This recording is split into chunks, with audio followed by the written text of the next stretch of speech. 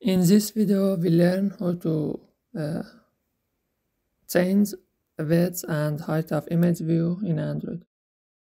Create a new method which uh, gets uh, three parameters, an image view, an int uh, for width, and an int for uh, height. Inside this method,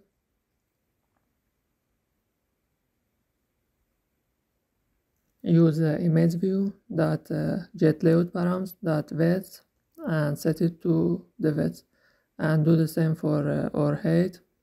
And if we use method after set content view method we have to use image view that uh, request layout. Now use this method inside a button click event.